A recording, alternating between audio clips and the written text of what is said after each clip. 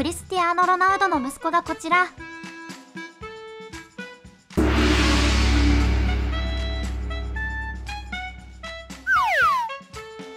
かっこいい。ドラゴンボールの存在感。やっぱサッカーうまいの。いいな約束された容姿と財産。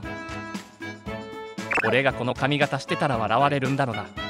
気にしすぎドラゴンボールスーパー。黒人混ざってる。こいつ頭悪いな。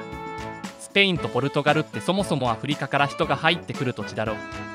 ヒスパニックってやつかな。